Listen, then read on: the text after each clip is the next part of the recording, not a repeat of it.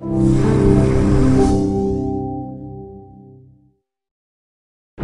work here, bros. The reason why I came to 343. Um, okay, let me think about that. I know the answer to this. Um, Well, I'd be lying if I said I didn't come here for Halo. We're the only studio in the world trying to do something quite as crazy as what we're trying to do, in that we've brought all these people from around the world who've never worked together before, put them all in one giant room and give them one of the world's biggest gaming franchises and tell them to go make it. And I guess I kind of heard about that and thought, that's crazy, I want to be part of it.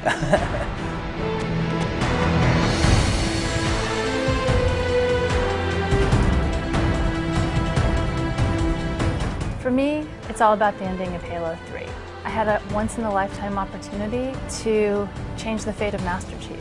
Everybody here likes Halo. A lot of people like it a lot. I remember taking two days off of work to play Halo 1. The idea of being able to play a part in defining the future of the Halo universe was exciting and terrifying at the same time. I came from feature animations, so to move to games seemed to be like the perfect fit. Everyone comes here from a successful career somewhere else. When I talked with the art director, Kenneth Scott, I asked him, why are you working here? And he immediately answered, for the team. As exciting as the Halo universe can be for somebody who's a big fan of monsters, big fan of science fiction, big fan of FPSs, it was really the people that I got excited about working with. I love Halo. I've always wanted to work on it, but to be honest, like whenever I found out that Sparth was working here, I was in.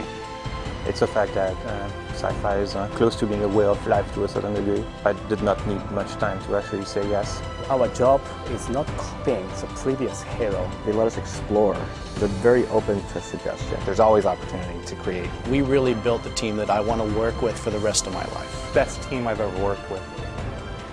So for me, one of the biggest reasons to come to 343 was that I could work on a video game my parents had actually heard of. And I love Halo. I love the stories and the worlds we built. And I think that with all the new technology and techniques that we have at our disposal, uh, I think we have a great opportunity to tell really good stories in a, a really dramatically improved way, Halo 4. When I leave here at night, I'm really jazzed. You know how hard you would judge someone else in the same situation. And so you kind of go, okay. And it just inspires me to do bigger and better things. It's a little surreal at first, and it's definitely um, scary because I mean, it's like no pressure or anything. There's definitely a requirement to hit the ground running. It's a challenge, but it's, it's an exciting challenge. We're getting there.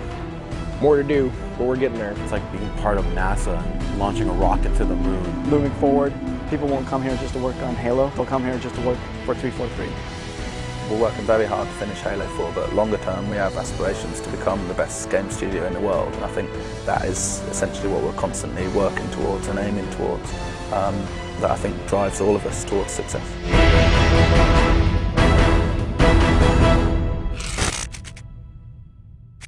Is that all right? That's all. That's all we need.